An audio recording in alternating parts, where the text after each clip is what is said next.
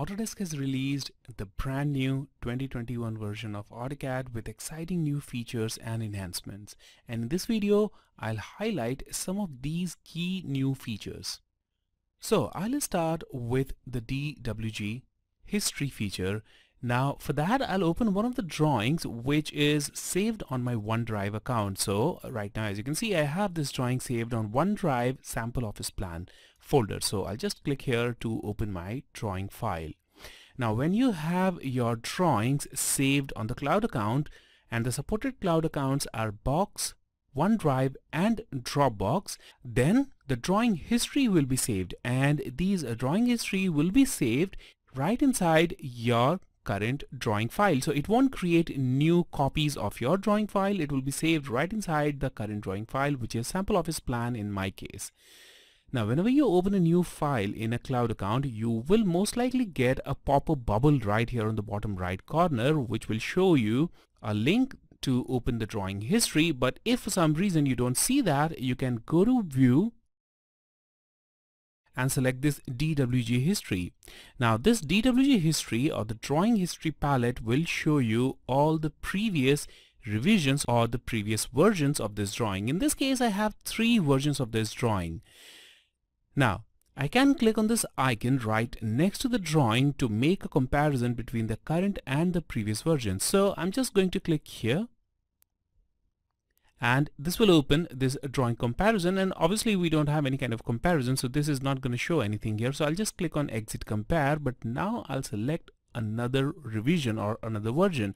That's this one. So I'll once again click here in the DWG compare option and now you can clearly see the differences. So these are some of the revisions. They are highlighted using the colors as well as using the revision cloud.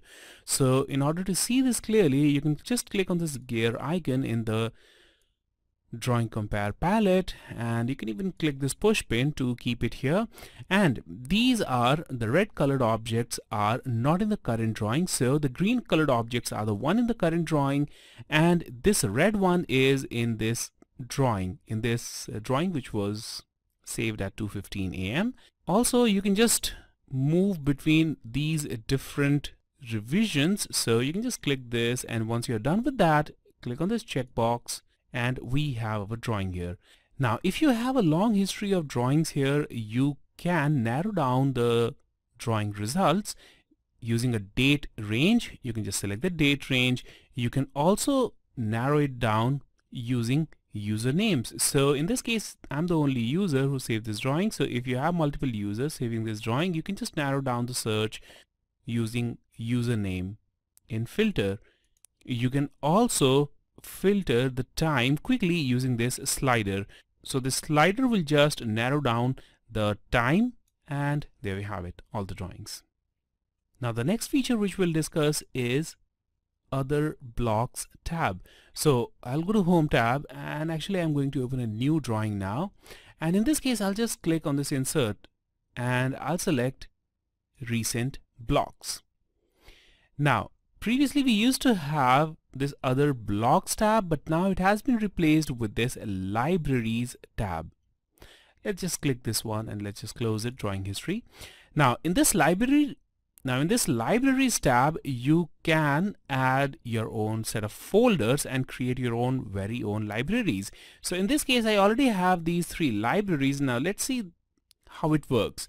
Now if you want to add an extra library of blocks, then you can just click on this icon right here and select any folder which you want to include in your library. In this case, I'll just go to desktop and uh, maybe I'll select this blocks folder to include in my library and now I've got these five drawings which will be added to the library. So I'll just select it I'll click on open and now all the five drawings are now added in our library and we can access these drawings directly from here. So we can just uh, drag and uh, drop these blocks now here in our drawing. So all we need is just simple drag and drop just like this. So I've got two versions of this. I'll just delete one of these also you can change the way these look just by clicking this icon so you can just change the way they look kind of like this. Now the next tool is enhanced quick measure tool. So the quick measure tool has also been enhanced a lot and now not only you'll get the angles as well as distances using the quick measure tool but also you can measure area. So I'll just go to this measure tool and here we have the quick measure tool which was added in the previous version of AutoCAD. So I'll click on quick and now just hover over an area. And as you can see we have the length as well as angles and all these things are clearly visible. But now if you click you will see the area here on the tooltip and also the area will be highlighted in this green. Now that's great because it is really detecting the island and just uh, showing you the area. But if you want to ignore the islands and if you want to calculate entire area then you can press and hold your shift key and now click in multiple areas and it will then include those areas as well. You can include area from here as well if you want to. So now we have this complete area shown here on the tooltip. So that's a great enhancement in the quick measure tool the next tool which we'll discuss here is trim and extend. Now for that I'll open one of the drawings here so I'll just go to this uh, trim extend drawing and here in this drawing I'll start with the trim command. So usually when we select trim command AutoCAD used to give us an option of selecting the boundary but not anymore. Now if you hover your object over any geometry it is going to trim it up to the next available boundary. So if I hover my cursor over this arc here, it will just trim it up to the next boundary. If I hover it over here, it's going to trim it like this, this, and this. So this is quite a new thing but if you are not happy with this if you don't want this kind of feature and you just want the legacy one then you can roll it back to the standard version using this mode. So you can just click on this mode and change it back to the standard version. So this is the quick version but you can obviously change it back to standard. In this case I'll just leave the quick version now. So I'll press escape key. And also if you just want to specify the cutting edges then you can do that using this option. So you can still specify an edge or a boundary for trimming your object. So I'll just press escape key again now that's not all about the trim tool. Here if you select trim tool now you get an option of selecting a fence. So instead of a window if you just click and move your cursor you will get this kind of a lasso selection you can say and also it looks like kind of a fence which you can make and once you let go your cursor the objects will be trimmed. You can also click and let go your cursor and then make a fence and in this way you can make trims that look like this. Now in this case if you just want to make a window then you can go to crossing and make a window just like this.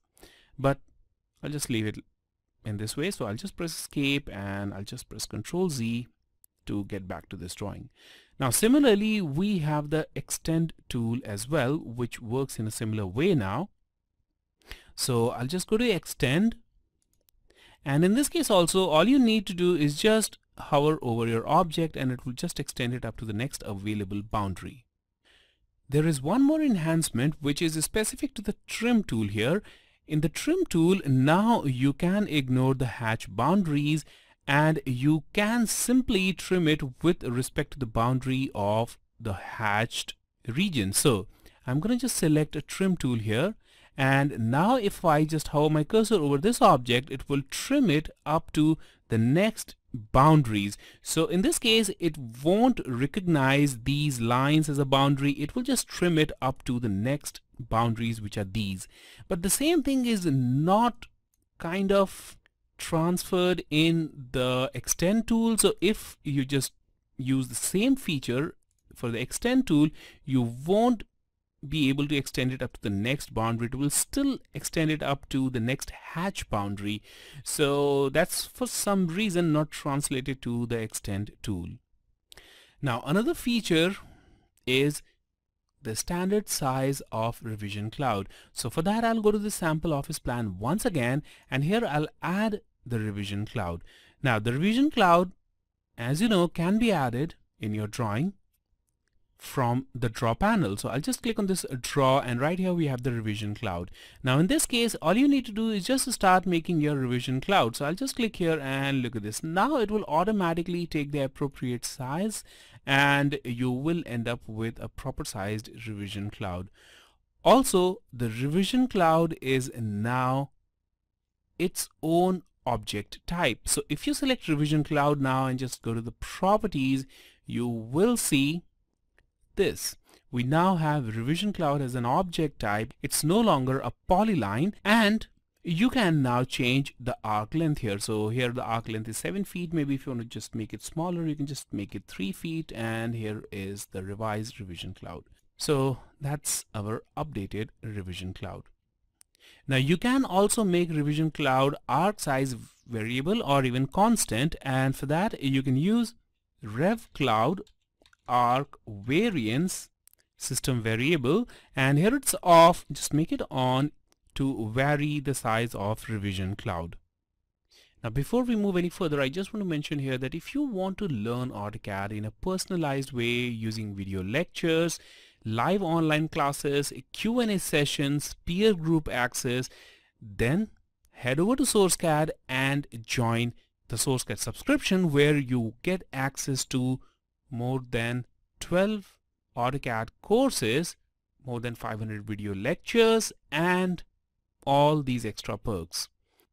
The detail is in the description and also you can click the link here to see the details of the subscription. Now back to the video. Now the next feature is break at a point which has been made precise in this version. So once again I'll go to this trim extend drawing and here we have this arc right here which is extending from this point to this. As you can see here also we have this arc which is completely open and extending from here to here. Now if you want to break it specifically at a point maybe at a point of contact or maybe somewhere along this arc then now you have a precise control.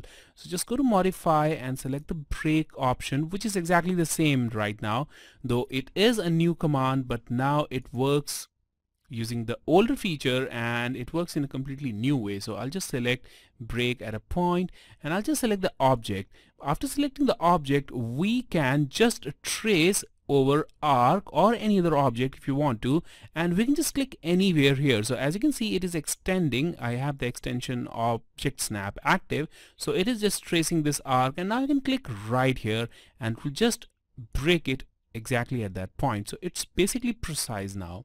Also if you have maybe straight lines and if you want to do the same for that then you can select break at a point select your line and then track your point. And wherever you want to just place that point you can just click or you can also add the distance maybe 30 and enter. And now we have this length of the line which is exactly 30 if you want to check it simply type di and check the length which is exactly 30 so now we have precise control over this break option and the break option can be repeated using the enter or the spacebar key. So once you select the break command and just break any object and then later on you decide to repeat that command all you need to do is simply press enter key and repeat break at a point command now. Finally let's talk about the XREF compare feature. Now in this XREF compare feature, the DWG compare tool has been brought into external references. So for that, I'll just use one of the external references in this sample office plan maybe. So I've got this drawing sample office plan and let's just quickly delete this revision cloud here and I'll just insert another drawing right here.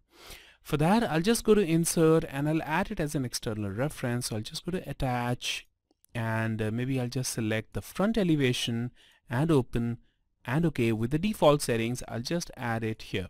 So I've got this one here and this one is obviously an XREF now we'll just make some changes to the original XREF file and for that I'll just go to this folder the folder from where we imported this external reference and I'll just select this front elevation which is the drawing which we added here. And now I'm just going to hide the dimensions from this. So for that I'll go to home tab and I'll hide the dimensions. I'll just hide the layer or maybe we can just keep the layer on and we can simply delete them. So that's going to make kind of a difference here. So I'll just select them all and maybe I'll just delete them all. So there we have it. So we don't have any kind of dimension here and I'll hit the save button now. Now that we have this file saved, I'll just close it and I'll move back to my original drawing file. and as expected it will show us this kind of pop-up bubble that our XREF file has changed but apart from that we now have this extra checkbox now this checkbox if you keep it checked will show you the new and the older version of external reference. So I'll just keep this checkbox selected and I'll click on reload front elevation and now you can see the older version as well as the new version of the external reference. So it will just make a comparison between these two and you can see using these colored objects that uh, well the red object is not in the current drawing and the green one is in well green. There is no green so we only have the gray object where we don't have any kind of differences. We have the gray object and the red object is obviously the one which we don't have in the current drawing. So currently we don't have the dimensions in the current drawing and the external reference the original reference used to have this one. So uh, it will just highlight the differences. So once you're done looking at the changes click this arrow and here we are. We have the drawing now so that's the xref compare feature and using this you can compare different versions of your external references and that's a roundup of some of the prominent enhancements in AutoCAD 2021 version. That's not all. There are many other enhancements as well. And for that, I recommend you that you look at all the enhancements of AutoCAD 2021 on the Autodesk Knowledge Network. And if you want more such videos, don't forget to subscribe. Thanks for watching, and I'll see you in the next video.